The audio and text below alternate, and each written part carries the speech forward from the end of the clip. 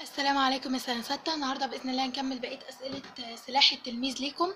ركز معايا كده اقرأ ثم أجب. يواجه الإنسان في مراحل حياته عقبات كثيرة عليه ألا يستسلم لها وهو يتطلع إلى المستقبل ويحلم بالنجاح لأن النجاح هدف الإيه الإنسان. هات من الفقرة. كلمة معناها يطمح. قلنا يطمح طبعا يبقى يتطلع. لأن يتطلع معناها يطمح. طيب كلمة مضادها الفشل النجاح النجاح مضاد الفشل. طيب كلمة مفردها مرحلة مراحل. كلمة مفردها مرحلة مراحل. طيب ما الذي يواجه الإنسان في مراحل حياته؟ طبعا اللي بيواجهك في مراحل حياتك عقبات كثيرة. يواجه الإنسان في مراحل حياته عقبات كثيرة. وما واجبه نحوها يعمل إيه بقى؟ عليه ألا يستسلم لها عليه ألا يستسلم لها وأن يحلم بالنجاح. طيب ما هدف الإنسان في الحياة؟ طبعا هدف الإنسان في الحياة أن ينجح. هدف الإنسان في الحياة أن ينجح.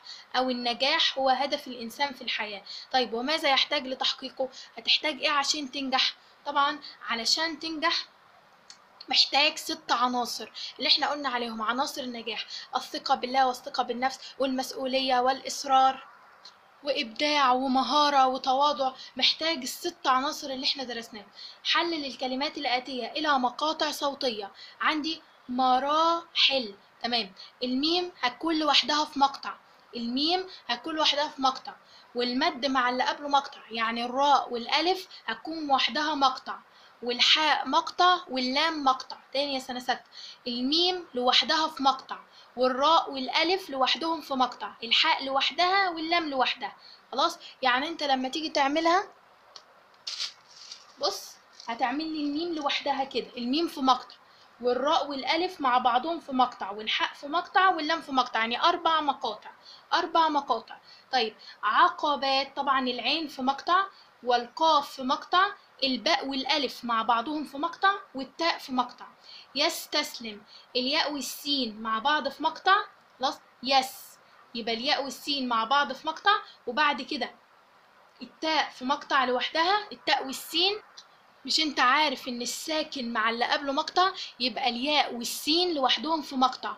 وبعد كده التاء والسين في مقطع. خلاص؟ الياء والسين لوحدهم في مقطع. وبعد كده التاء والسين في مقطع لأن الساكن مع اللي قبله مقطع. يبقى الياء والسين مقطع التاء والسين مقطع واللام مقطع والميم مقطع. خلاص كده؟ يبقى الياء والسين مقطع التاء والسين مقطع واللام مقطع والميم مقطع. طيب اقرأ ثم أجب. ولكن الوصول إلى هذا الهدف محتاج لمجموعة عناصر بتعينه على مواجهة الحياة وبتساعده على الوصول للنجاح. هدف وهذه العناصر الستة هي الثقة بالله والثقة بالنفس. فلا يقنط الإنسان من رحمة الله ولا يستهين بنفسه أو بالناس لأن الإنسان طبع على الخير هات معنى الثقة. يعني إيه إنك يكون عندك ثقة بنفسك؟ طبعا الثقة معناها اليقين والاطمئنان. الثقة معناها اليقين والاطمئنان. طيب مفرد عناصر عنصر. جمع مفتاح مفاتيح. مضاد تعينه. تعينه معناها تساعده. يبقى مضادها تخذله. مضادها تخذله. طيب ما الذي يعين الإنسان على مواجهة الحياة؟ اللي بيعين الإنسان على مواجهة الحياة وبيساعده على الوصول للنجاح كما فهمت من الفقرة. مين؟ إيه اللي بيعين الإنسان على مواجهة الحياة وإنه كمان يوصل للنجاح؟ طبعا اللي بيعينه واللي بيساعده عناصر النجاح الستة اللي إحنا قلنا عليهم يا سنة ستة. عناصر النجاح الستة اللي هو الثقة بالله والثقة بالنفس وعندك الإصرار والمهارة والإبداع والمسؤولية والتواضع. عناصر النجاح الستة اللي إحنا أخذناها هي اللي بتعينك على مواجهة الحياة. طيب كيف تكون الثقة بالله؟ الثقة بالله ألا يقنط الإنسان من رحمة الله. دي ألا يقنط الإنسان من رحمة الله ما تيأس من رحمة ربنا. دايما يكون عندك آه يقين إن ربنا سبحانه وتعالى هينجيك وهيساعدك وهيحقق لك أهدافك. طيب وكيف تكون الثقة بالنفس؟ الثقة بالنفس ألا يستهين الإنسان بنفسه أو بالناس. يعني تقعدش تقول أنا فاشل. لا ما تستهنش بنفسك. ألا يستهين الإنسان بنفسه أو بالناس. أكمل. طبع الإنسان على الخير. الإنسان يا سنة ستة طبع على الخير. طيب بعد كده بقى بيقول اكمل شبكة المفردات. جايب لك الخير. المطلوب منك إنك تكتب هنا الخير. أي حاجة لها علاقة بالخير. اكتب الأعمال الخيرية. يعني مثلا مساعدة الفقراء آه، التواضع. فدي كلها حاجات تدل على إنك بني آدم خير أو تدل على إنك بني آدم كويس. خلاص؟ يبقى مساعدة الفقراء الصلاة آه، الصيام آه، كفالة اليتيم. خلاص؟ إنك تكفل حد يتيم طبعا عدم السب والشتم. يعني كل الحاجات الحلوة. كل الحاجات اللي فيها خير. كل الحاجات اللي تقول إن الدنيا لسه بخير. خلاص؟ يبقى دي حاجات كلها فيها خير. تقول مثلا عدم السب والقذف يعني ما اشتمش حد آه، كفالة اليتيم مساعدة الفقراء. خلاص كده كل دي حاجات بتدل على إنك بني آدم كويس. كل دي حاجات مساعدة الزملاء في المدرسة. خلاص كده يبقى دي بتدل على إنك بني آدم كويس. نيجي للقطعة دي. اقرأ ثم أجب. والثاني التواضع. فمن تواضع لله ارتفعت منزلته في النفوس ومن تكبر هانت صورته في العيون وخسر نفسه. هات معنى منزلته. يعني إيه منزلته؟ يعني مكانته. منزلته يعني مكانته. مفرد العيون العين. جمع صورة صور. جمع صورة صور. طيب. مضاد خسر. مضاد خسر كسب. مضاد خسر كسب. التواضع هو العنصر الثاني من عناصر النجاح العنصر الثاني من عناصر النجاح. قارن ما بين أثر التواضع وأثر التكبر على الفرد. طيب أثر التواضع على الفرد لو أنت كنت متواضع قلنا بقى من تواضع ارتفعت منزلته في النفوس. خلاص ارتفعت منزلته في النفوس. يبقى أثر التواضع على الفرد إنه بيرتفع منزلته في النفوس. طب أثر التكبر بقى؟ طب لو أنا اتكبرت تهون صورة الفرد في العيون. هانت صورته في العيون. يعني بيبقى في عيون الناس ولا حاجة. وبيخسر نفسه كمان. وبيخسر نفسه. طيب أكمل خريطة الكلمة. أكمل خريطة الكلمة. هانت. نوعها فعل. نوعها فعل. طيب معناها إيه؟ ضاعت منزلته. هانت صورته في العيون يعني ضاعت منزلته في عيون الناس. ضاعت منزلته في عيون الناس. مضادها عظمت مضادها عظمت بالظا. بالظا. عظمت. طيب الكلمة في جملة. طبعا نقول من آه، تكبر هانت صورته في العيون. من تكبر هانت صورته في العيون. طيب ال- القطعة رقم 8 والثالث المسؤولية إذ أن لكل فرد من أفراد المجتمع مسؤولية لازم ينهض بيها وما يأثرش في أدائها. والرابع المهارة الناجحون ماهرون في أعمالهم بيكونوا دايما على أتم استعداد عشان يدخلوا أي تجربة. هات معنى ينهض. اتفقنا إن ينهض معناه إيه؟ معناه يقوم. ينهض معناه يقوم. طيب جمع المسؤولية المسؤوليات. جمع المسؤولية المسؤوليات. مفرد أفراد فرد. مفرد أفراد فرد. لكل فرد من أفراد المجتمع مسؤولية. إيه الواجب عليه؟ طبعا الواجب عليه أن ينهض بها وألا يقصر في أدائها. عليه أن ينهض بها وألا يقصر في أدائها. تمام؟ يبقى كل مسؤولية لازم الإنسان ينهض بها وما يقصرش في أدائها. يبقى دي الإجابة. أن ينهض بها وألا يقصر في أدائها. طيب بما يتميز الناجحون كما فهمت من الفقرة طبعا يتميز الناجحون أنهم ماهرون في أعمالهم يكونون دائما على أتم الاستعداد للدخول في أي تجربة. يبقى اللي بيميز الماهرون آه عفوا اللي بيميز الناجحين إن هم ماهرون في أعمالهم يكونون دائما على أتم الاستعداد للدخول في أي تجربة. يبقى ده اللي بيميز الناجحين. طيب بعد كده شباب بيقول استخرج من الفقرة السابقة مضاف إليه وجملة اسمية وجر ومجرور وجمع تكسير وجمع مذكر سالم بص. مضاف إليه مضاف إليه. طيب أنا بقول إذ إن لكل فرد من أفراد المجتمع مسؤولية. خد بالك اللي بيجي بعد الجر والمجرور بيبقى مضاف إليه. يعني المضاف إليه هنا عندك كلمة المجتمع. المجتمع هنا مضاف إليه مجرور وعلامة الجر الكسرة. طيب جملة اسمية. عايز جملة اسمية؟ أهي. الناجحون ماهرون في أعمالهم. دي جملة اسمية. طيب عايزة جر ومجرور؟ عندك من أفراد. من أفراد دي جر ومجرور. من حرف جر وأفراد اسم مجرور. طيب عايزة جمع تكسير. جمع تكسير آه، فرد. فرد جمعها أفراد. يبقى جمع تكسير كلمة أفراد. جمع تكسير كلمة أفراد. خلاص كده؟ طيب جمع مذكر سالم. جمع مذكر سالم. ناجحون. الناجحون جمع مذكر سالم. الناجحون جمع مذكر سالم. اللي هو بينتهي بواو ونون. خلاص؟ واو ونون في حالة الرفع وياء ونون في حالة النصب أو الجر. طيب يبقى مضاف إليه اتفقنا المجتمع جملة اسمية الناجحون ماهرون في أعمالهم جر ومجرور من أفراد جمع تكسير أفراد جمع مذكر سالم الناجحون جمع مذكر سالم الناجحون.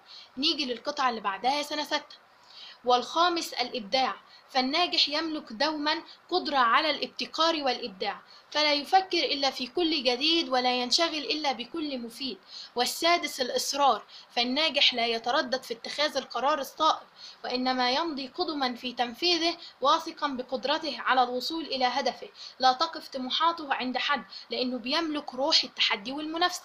طيب معنى الإصرار اتفقنا أن الإصرار معناها الثبات.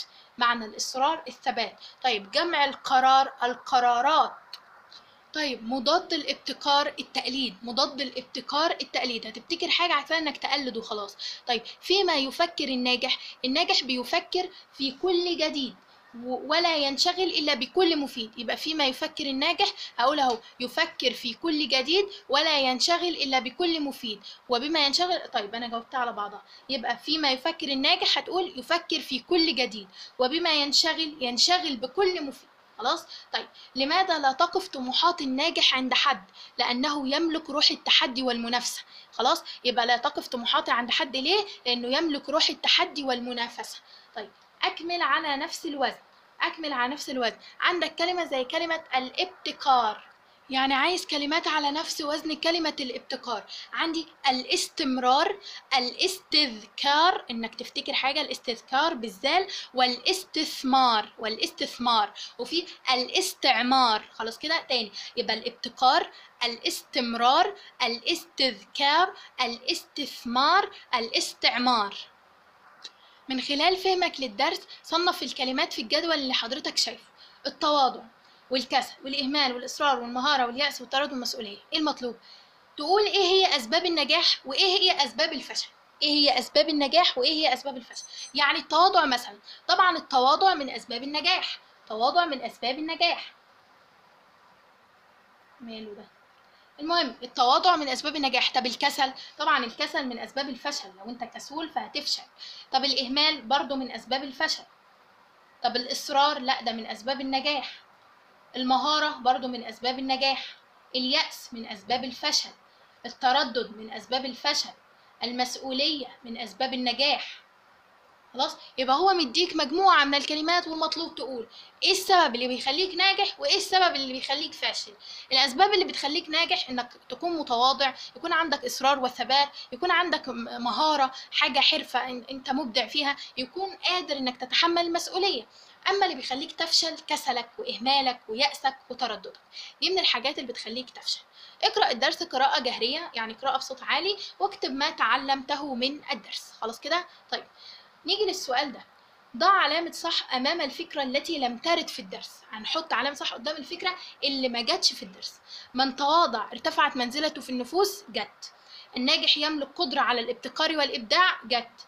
يحتاج الإنسان إلى الحظ لكي يصل للنجاح غلط. لا خالص دي ما جاتش. وكمان ده كلام غلط. يعني إيه حظ؟ لا لازم تجتهد وتنجح وتتعب. كده تنجح لكن مش بالحظ مش بالحظ.